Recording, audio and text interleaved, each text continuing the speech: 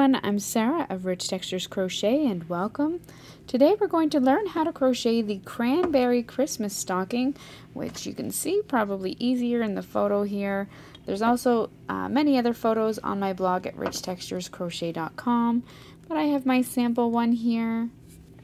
This is the cranberry Christmas stocking. It is a large stocking. It's about 24 inches by 8 inches when it's laid flat and uh, it's made with a super bulky weight yarn so it does work up fairly quickly despite its size but it is super plush and definitely a stocking that's going to make a statement at Christmas time. It is an easy stocking to work. It's worked from the toe up. Again, I'm working it using a super bulky weight yarn. I'll be using two colors of this Wool-Ease Thick and Quick by Lion Brand yarn. And uh, each of these balls has about 100 yards in it. So you're going to need two balls of uh, one color. I've used two of the cranberry for the body of my stocking. And then only one ball, which is my Fisherman white color uh, here for the toe, heel, and cuff. So you'll need two colors. You're also going to need a 10 millimeter crochet hook and a pair of scissors and yarn needle for finishing off. So thank you so much for joining me. While you're here, I invite you to take a look around. Feel free to subscribe, give this th video a thumbs up, and uh, I love to hear about your crochet projects. So if you tag me on social media, as you're sharing them, uh, I would love to uh, uh to see them and uh, celebrate with you as you finish your projects. So uh, let's grab our hooks and yarn and we'll get started making this cranberry Christmas stocking. Now we're going to begin at the toe of our sock, so taking your contrasting color, uh, which in my case is the white, you're going to make a slip knot and then chain two.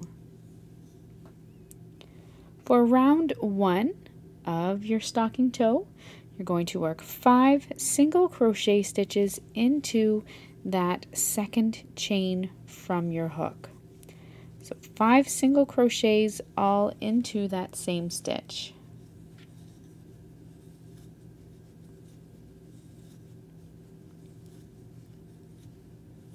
When you come to your first stitch, you can join with the slip stitch into that first stitch.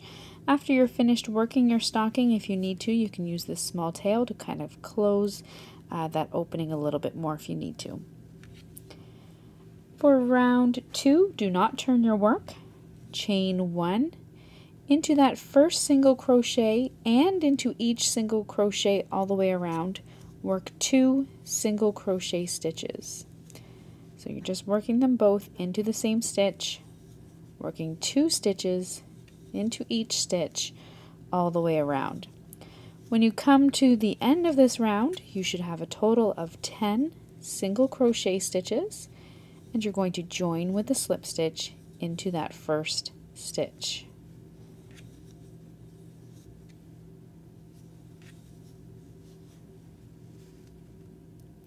For round three, chain one, single crochet into that first stitch and work two single crochets into the next stitch. Repeat that all the way around. One single crochet into the next stitch and two single crochets into the next. Repeat. At the end of this round, you'll have a total of 15 stitches.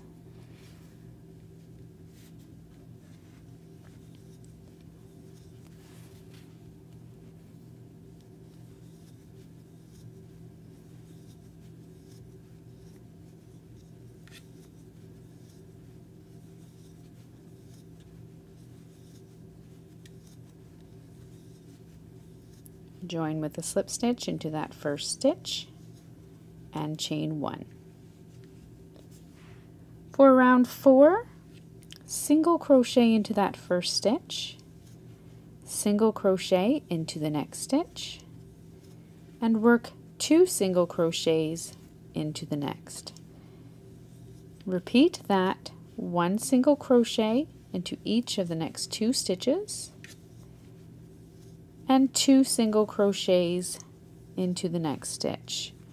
Repeat that all the way around. When you come to your first stitch, join with the slip stitch in that first stitch and at the end of this round you'll have a total of 20 stitches.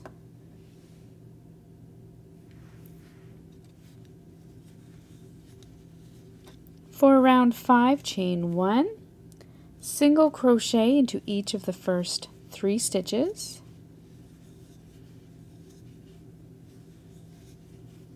and work 2 single crochets into the next stitch. Repeat, 1 single crochet into each of the next 3 stitches, and 2 stitches single crochet stitches into the next stitch. Repeat that all the way around and uh, at the end of this round you'll have a total of 25 stitches and you can join with a slip stitch in your first stitch.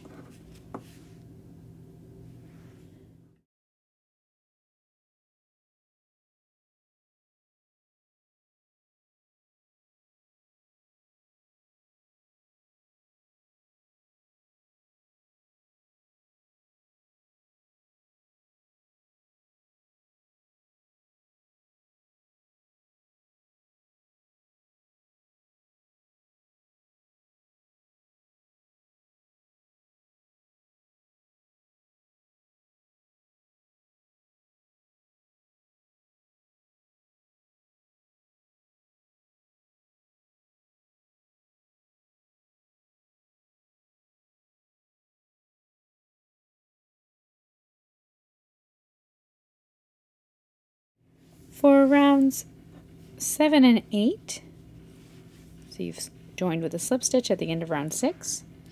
Now for rounds 7 and 8, you're going to chain 1 and simply work one single crochet into that first stitch and then into each stitch all the way around.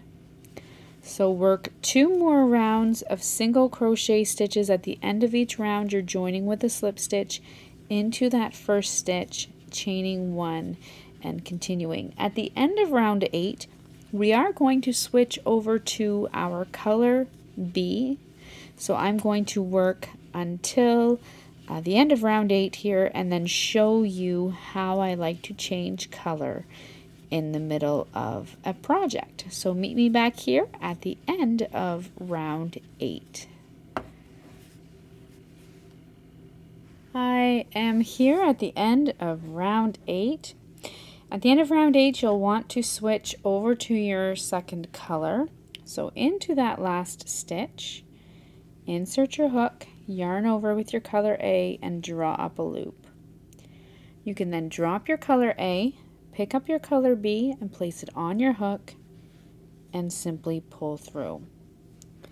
Tighten up those two little tails Join with a slip stitch into your first stitch, now using your color B. Chain one, and at this point, you can fasten off that color A. And for my next round, I'm going to work over top of these tails to tuck them in a little bit. We're now going to work the stocking foot. So this is what your work from the beginning looks like. We're now going to work the foot of our sock. And we're going to do so by working round one, slip stitch into that first stitch.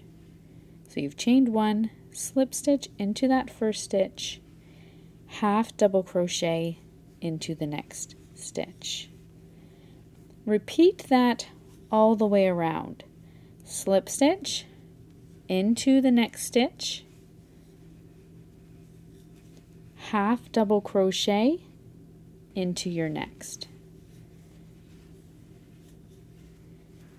Continue to repeat that, slip stitch into your next stitch, half double crochet into your next. Repeat that all the way around to your first stitch.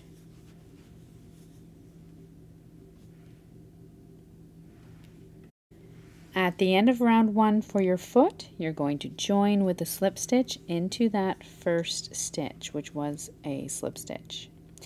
You're then going to chain one and turn your work.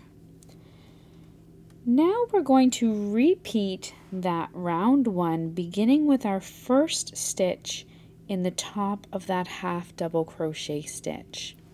So slip stitch into the half double crochet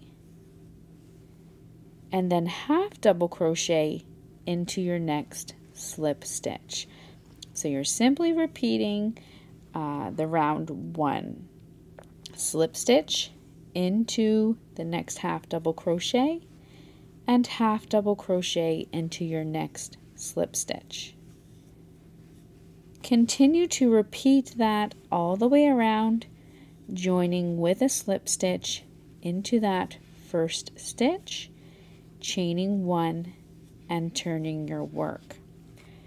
You're going to repeat that round one for a total of 13 more rounds. So this is round 2 through to 14.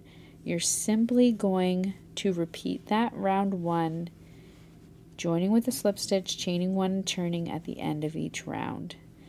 Once you have done that, uh, you will have finished the foot of your stocking and you're going to meet me back here and we'll begin to work the heel.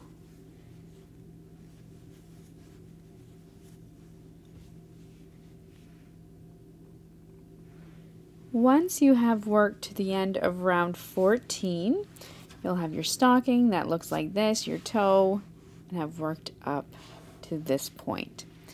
At the end of round 14, in the final stitch, you're going to switch back to your color A. So to do that, yarn over with your color B, insert your hook into your final stitch, yarn over, and draw up a loop. You can then drop your color B, pick up your color A, place it on your hook, pull through, join with a slip stitch into your first stitch, and chain one. You can then fasten off that color B. I'm leaving a little bit of a tail that I'm going to work over in a moment. We're now ready to begin working on the heel of our Christmas stocking and our heel is worked in rows. We'll begin by working a chain one and then single crochet into each of the first two stitches. So there's the same stitches joining and then into the next stitch. Slip stitch into the next stitch and then you're going to, that brings you to the end of your row one. You're going to turn your work, leaving the remaining stitches unworked. For row two, skip the first slip stitch, slip stitch into the next single crochet stitch, single crochet into the next stitch, and then single crochet into the next stitch, uh, which is the same stitch down below as joining uh, in the row of your sock actually just down in here into the half double crochet. So single crochet into that next stitch on your stockings on the foot. Pull it a little bit tighter if you have to, and then slip stitch into the next stitch. So you've worked a slip stitch, two single crochets, and one more slip stitch. You can then turn your work. For row 3, skip the first slip stitch, slip stitch into that next single crochet stitch, single crochet into each of the next two stitches. One is a single crochet and one is a slip stitch. Then single crochet into the next stitch down on the foot of your stocking. So this is the same stitch as joining. Single crochet into that stitch, and slip stitch into your next stitch. Turn your work. For row 4, skip the first slip stitch, slip stitch into the next single crochet stitch, single crochet into each of the next three stitches,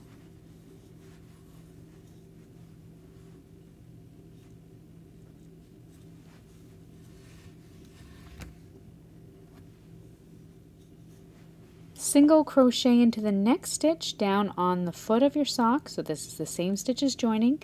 And as the uh, heel gets a little bit taller you'll just need to pull that stitch a little bit tighter and then slip stitch into your next stitch. Turn your work. For row 5 skip the first slip stitch. Slip stitch into your next stitch, single crochet into each of the next four stitches,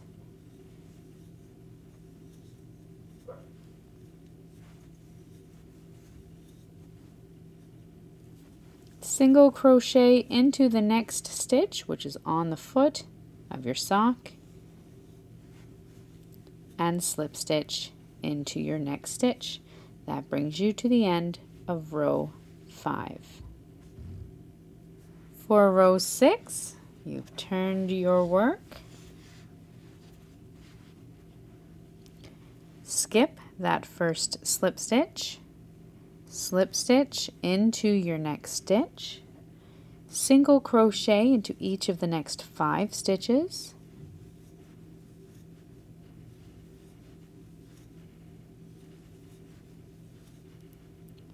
and then single crochet into the next stitch that's down on your stocking foot the same one as joining and slip stitch into the next stitch you should be seeing some really nice heel shaping coming through now. Turn your work. For row 7 skip the first slip stitch. Slip stitch into your next stitch. Single crochet into each of the next six stitches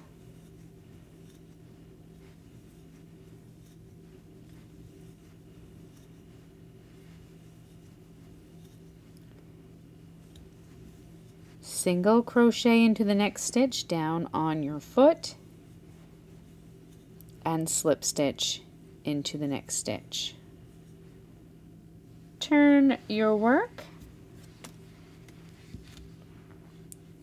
For row 8, skip the slip stitch, slip stitch in the next stitch, single crochet into each of the next 7 stitches,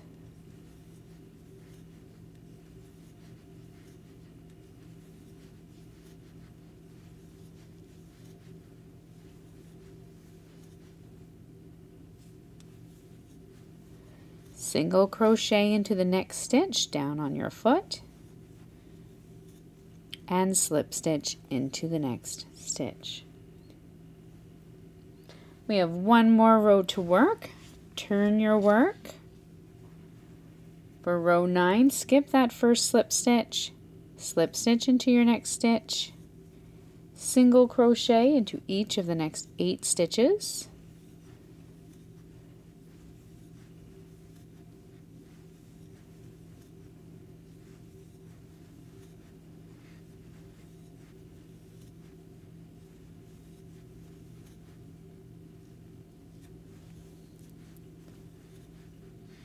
single crochet into the next stitch on your foot. And then slip stitch into the next stitch this time switching back to your color B. So insert your hook and place your color B on your hook and pull it through. You can then chain one using your color B After you've chained one, you're going to turn your work.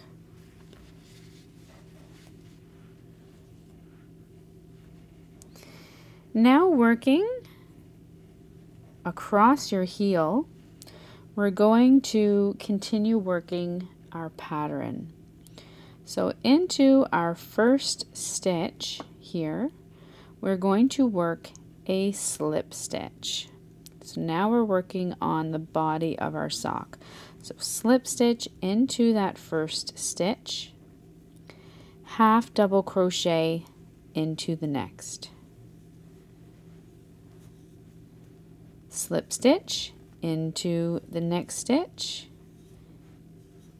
and half double crochet into the next. You're going to continue to repeat that all the way across.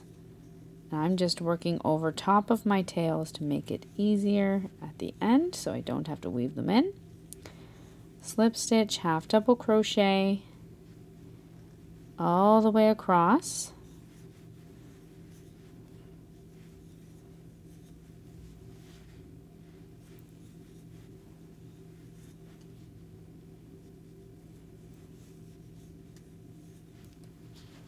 When you come to the foot of your sock, you're going to uh, continue to work the pattern all the way around. So we're going to jump down now into this slip stitch here. So we've worked a slip stitch up here, slip and down into the slip stitch here, you're going to work a half double crochet. You just want to make sure that you're working the opposite stitch of the stitch that's down below. Continue working your slip stitch and half double crochet stitches all the way around. At the end of this round, you should have 30 stitches once again, and then you're going to join with a slip stitch into your first stitch.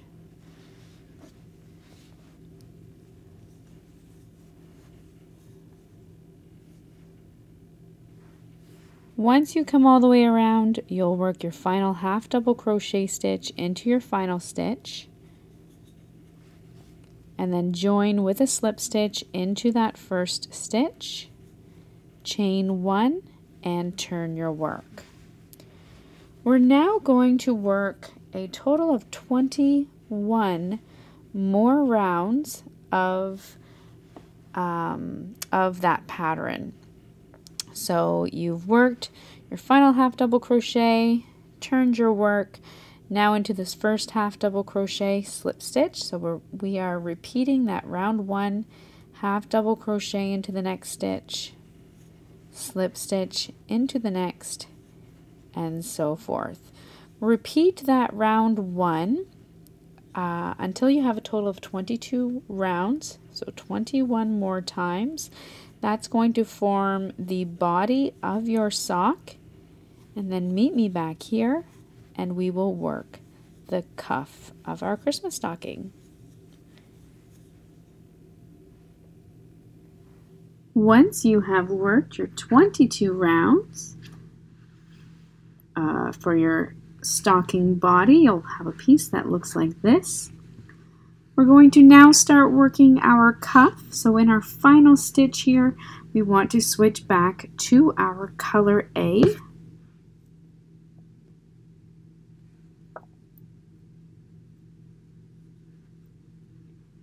Join with a slip stitch into the first stitch, chain one, and do not turn your work. You can fasten off your color B. For round one of the stocking cuff, we're going to single crochet into the first stitch and then into each stitch all the way around.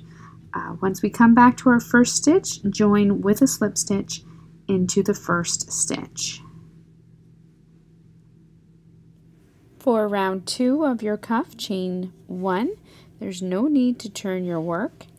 Now working in the front loop only, so when looking at the top of your stitch, you have this loop that's closest to you and one that's further away. The front loop only is the one that's closest to you. So working under that front loop only, single crochet into your first stitch, followed by a triple stitch into your sec next stitch. Repeat that single crochet in the front loop only in your first next stitch and triple into your next. Repeat that all the way around. You should end with a triple stitch and you're going to join with a slip stitch into that first stitch.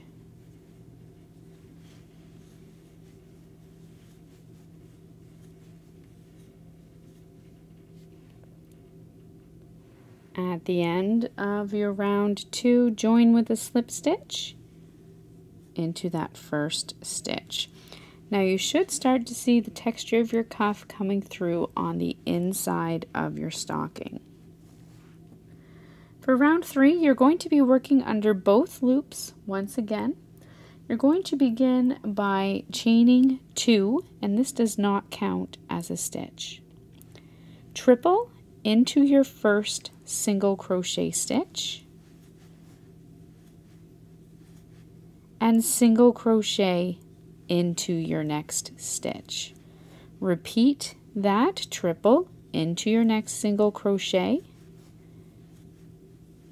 and single crochet into your next stitch. Repeat that all the way around and join with a slip stitch into your first stitch.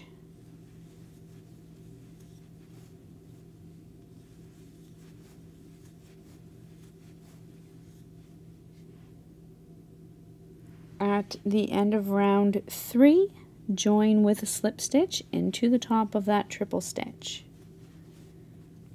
For round four, chain one, single crochet into that first stitch, and work one triple into the next stitch. Repeat that all the way around, single crochet into your next stitch, and triple into your next. You should be noticing now on the other side of your cuff, you're going to have these alternating, uh, almost faux popcorn stitches coming out on the inside. So continue that all the way around and join with a slip stitch into your first stitch.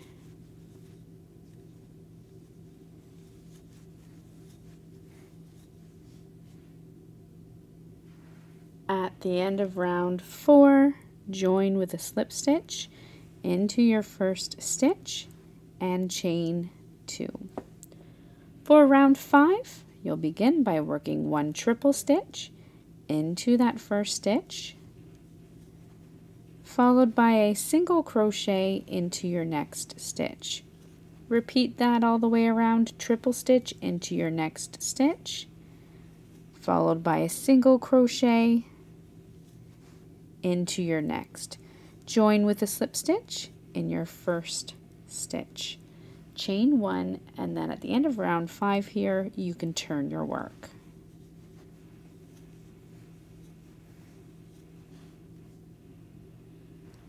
At the end of your round five, join with a slip stitch into the top of your first stitch. Then chain one and turn your work For this final round six, you're going to single crochet into that first stitch and then into each stitch all the way around. At the end of this round, you can join with a slip stitch into your first stitch and then fasten off. I'm just going to keep working here because it's going to go fairly quick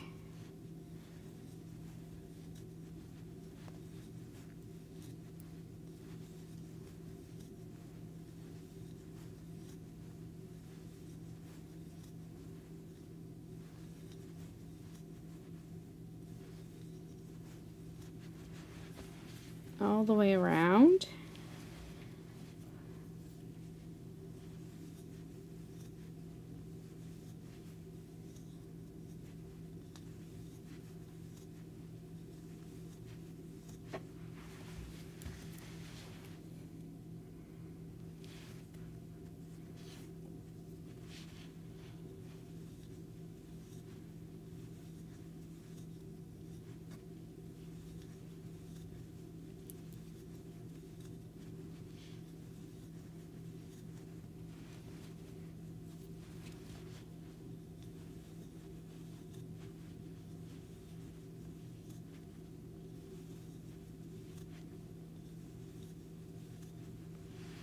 I'll just have a few stitches left here.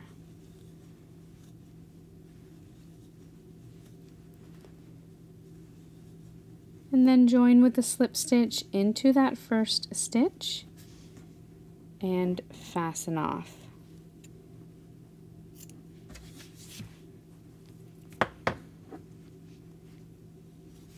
You can then go ahead and weave in any ends. Your stocking, stocking cuff is going to be right side out. So at this time, you're just going to fold it down over top of your stocking, just like so. I'm just going to pull back a little bit so you can see it a little bit better there. Now for the hanger on your sock, find the back of your sock and then just at the back of your sock right before the new color uh, changes or joins join some yarn with a slip stitch and you're going to want it to be fairly secure. So I would actually almost knot it there under my slip stitch because these stockings are fairly heavy and you don't want them to fall out. And then you can go back and you can tuck in that end. You're then going to simply make a chain stitch. And for uh, foundation chain or a chain. And for mine I chained 10 stitches. And then going back down into that first stitch join once again with a slip stitch fasten off and again you may wish to secure it you can then take your yarn needle and go back and uh, tuck in any ends that are sticking out there. But other than that, your cranberry Christmas stocking is complete. So thank you so much for joining me and uh, once again don't forget to subscribe take a look around there are some other Christmas stockings here on this channel uh, if you are interested, other than that, it is updated weekly with free crochet patterns and stitch tutorials. So until I see you again, happy crocheting. Bye.